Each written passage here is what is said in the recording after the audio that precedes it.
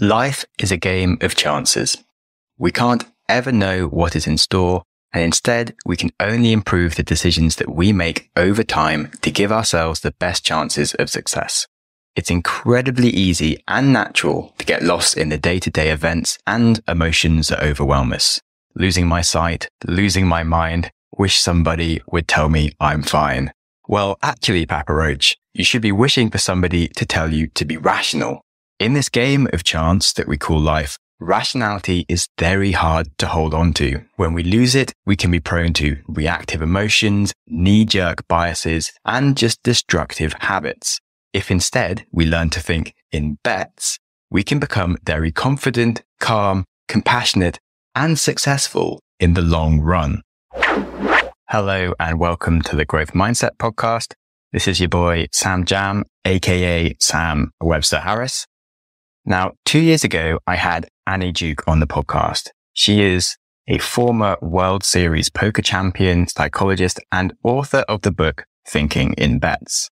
She's a really fascinating human and we had a great conversation. It's definitely worth a listen to if you didn't already listen to it. But I certainly didn't ask her too much about the book because I feel like you can read it or I can actually break down that information myself at a separate time like I'm doing now and I'd rather ask her unique insights on things that aren't already available somewhere. Now I am finally getting around to breaking down the book because it has so many useful mindset lessons that I think are totally helpful for anyone that is into mindset, rationality and success. Firstly, I think it is worth understanding the incredible story that led Annie into the world of poker as it's a perfect demonstration of chance and dealing rationally with the curveballs that life throws at us. As a young lady, Annie Duke studied psychology and she worked long days and longer nights on her PhD application to basically fulfill her dream of pursuing a career in a leading researcher in psychology. And she was overjoyed when she was accepted onto the PhD program but little did she know that life was about to turn in a very different direction. A month before she started her PhD, she fell really ill and her passion was deferred for at least a year. With her condition, she was unable to take on normal, regular work and she just often would become like really, really tired for days. And she felt lost and a bit abandoned by the world.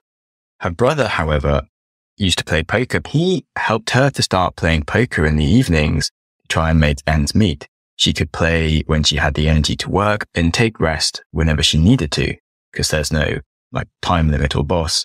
It was certainly risky, but it fit her random and un- unemployable schedule. If she controlled her emotions and kept a level head whilst playing, she could actually make a good living. While she started playing poker, she met so many interesting characters in this year out and was beginning to master the skill of staying rational in a game of continuously changing chances. And she was beginning to learn a steady recipe for success in both poker and in life. Every hand that you're dealt is a new array of data on her competitors and her own playing skills. And within the year, she was doing so well as a player that she thought this is actually a good opportunity. She would learn so much about life and psychology that she decided to defer longer and stick with this unexpected profession that she had no life plans for before. Fast forward a few years and Annie Duke became the most successful female poker player in history, just an amazing player full stop. This teaches us that it is easy to jump to conclusions and judge the hands that life deals us as like a bad thing or a good thing. But actually staying rational and just playing with the cards that we have is a timeless lesson on not judging our situation too quickly because you never know what life has in store for you. A nice parable, but Annie has so many more lessons for us that we are going to learn from. Annie has two life rules for unreasonable success and three mental models for greater wisdom. So let's start with the first life rule. Always seek truth. Annie fully accepted that her natural talent might not actually have been exceptional. Where she excelled was her ability to seek truth and learn from every action that happened. Her acceptance that she would make mistakes often led her to develop a mindset that took her far beyond her other peers that were playing poker. Because it's a natural human tendency to attribute our wins to our skill and our losses to bad luck. We'll look at our competitors and attribute their losses to incompetency and their wins to just good fortune. So Annie always tried to do the reverse of this view. He'd hold regular feedback chats with mentors to examine new insights, assume that competitors had better strategies that her, she wasn't using, and always look for ways that her losses could be reduced. And it just always meant that she was seeking truth as opposed to just assuming that she was like smarter than others and really set her up for success. The second rule that was just an unforgivable thing to do was to chase your losses. And perhaps the biggest risk to a poker player is to seek for a win during a losing streak. It's called chasing your losses. In a game where you're getting crippled, it's really hard to leave because when you've had a bunch of bad luck, you feel like statistically there's going to be some good cards coming your way soon, but you get caught up in the moment and you lose sight and you lose rationality. You can ignore the bad decisions that you're making and buying back into these games is a great way to lose all your money because the other players will already have more leverage than you because they have more money. And it's just, you're just spiraling downwards. And the best thing to do is just stop.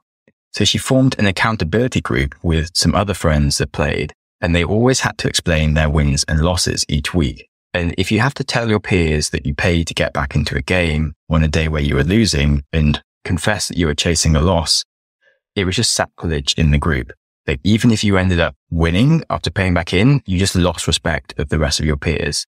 And so reckless behavior was recognized for what it was and loss of respect from your peers was a motivating drive to keep your head sane instead of getting lost in the moment doing that just meant that you would never chase your losses. Okay, that might not seem directly applicable to your life if you're not playing games where you're going to be seeking losses, but maybe you invest in the stock market or you do other things with your money.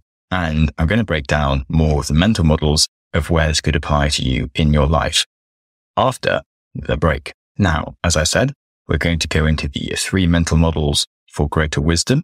We just learned that her two rules for success are always seek truth and don't chase losses. She learned so many mental models that kept her in check. And these three are my favorite concepts that she learned about humans and decision making, accepting the losses as they are and having awareness to see when good luck shines down on you and making the most of it. The first is a slightly hard one to get your head around. So I'm going to try and do my best to explain this. Essentially, but people are often unaware that wisdom is just consistent good choices over the long term. And a good decision is the wisest choice given the current information that you have, which is all that we can do. And success is the accumulation of these wise choices plus some luck and hard work over time. Now, I think the fact that it sounds obvious is the bit where we get tripped up on because I'll now explain why it isn't obvious. So let's say you have a poker hand that statistically will win 20% of the time and lose 80% of the time. That is a bad hand to play. Like most of the time you're going to lose, but every one of five times that you play, that hand will actually win.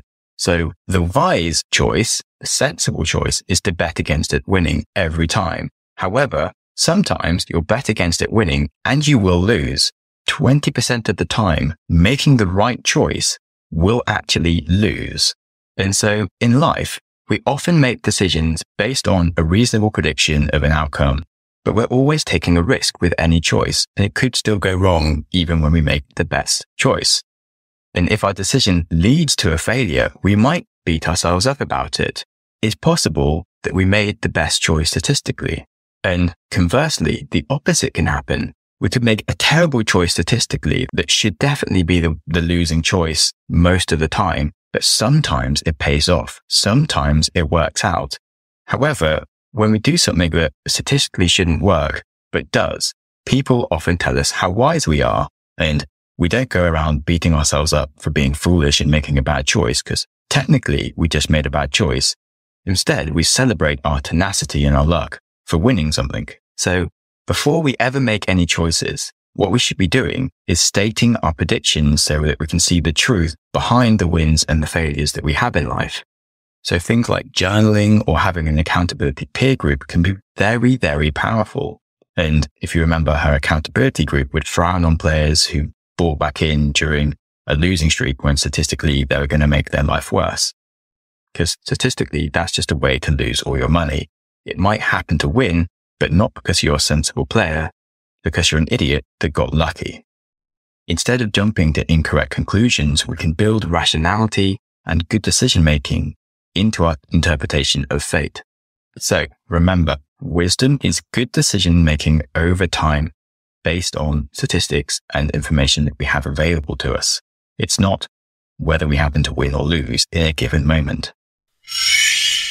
Right. Next mental model. Question common knowledge. Humans are reasoning machines. To attract a mate, we need to come across like we have a good grasp on reality and that we know what's going on. And we don't like to be wrong. Thus, we prefer to come up with explanations of why we are correct. It's very counterintuitive to look to see where we are wrong. Humans also evolved to learn very quickly from others and accept the wisdom of the tribe. This helps us to function in society. If we hear a few people saying the same thing, it actually quickly gets written into our internal facts database. We are inbuilt to believe things that most people believe. We actually really don't question common knowledge. You might think that this isn't true, but it is. When we take in information, we think that we screen it, but actually lots of information just seeps into our subconscious. For example, we were never shown a scientific paper that told us that one human year equals seven dog years, or that men inherit baldness from their maternal father. Those are just things that everyone kind of knows in like the ether of common knowledge. And actually, neither of those facts are true. And uh, if you're interested in baldness, uh, sadly, guys, it's inherited on the X chromosome. And anywhere in your family, if someone is bald, it will increase your chance of being bald, um, which sucks for me. Anyway, the point is, most of us believe these things because we've just heard it so many times. And so many people seem to agree that we didn't ever like go and work out where we got that knowledge from. It's just kind of around. This is such an important insight. I love questioning things that we're told. I'd like to think I do a good job of doing it sometimes, but actually I don't do it nearly enough. And this has really given me license to be much more curious and be like, why do people think this? So, um, basically being aware of common knowledge and how wrong it often is, is just very useful. A nice quote from Stephen Jay Gould is the most erroneous stories are those that we think we know best and therefore never scrutinize or question. So question common knowledge and don't make assumptions. And then the final mental model is the concept of asking for a bet. Because as humans, we are full of biased opinions that we don't realize we have, that we can reverse these a little by challenging them. But sadly, we often aren't challenged. If someone asks us if we want to bet, it suddenly casts a cloud of doubt upon the thing that we were assuming. So let's say that I'd ask you if you wanted a bet that male baldness is inherited from the mother's father. You might not so blindly lean into your assumption straight away. You might take some second chances to consider like, where did you actually learn about this male baldness fact? And are you sure it's really true? Could something else be true after all? Like, do you perhaps believe it as much as to lose money on it? And does the person asking you if you want to bet know something that you don't? So suddenly being asked if you want to bet creates this natural flow of thinking that pushes against the river of blind belief in your mind. And a bet is a great screen for how solid a belief really is. We take so much for granted that's actually wrong. In covering just a few of our poor assumptions and biases is such a useful result over the long term. So remember to always challenge others and yourself to make a bet on your beliefs. And in the words of Derek Sivers, don't try to be more right, just be less wrong. Avoiding failure leads to success. The winner is usually the one with the least mistakes. Okay, those were my favorite rules for success and thinking models from Annie Duke's book, Thinking in Bets. I haven't done a book breakdown like this on the podcast before, so let me know if you found it useful. Uh, as I'm a podcaster, we do love having a rating and a comment because it's always appreciated. If you would like to hear the original interview with Annie Duke, that was episode number 163.